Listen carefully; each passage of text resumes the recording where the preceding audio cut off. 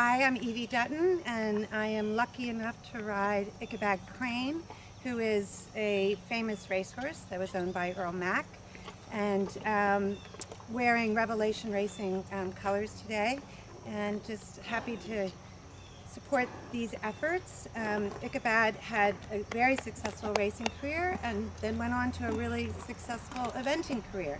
And right now he's kind of just being my mount. So I'm very, very proud of him.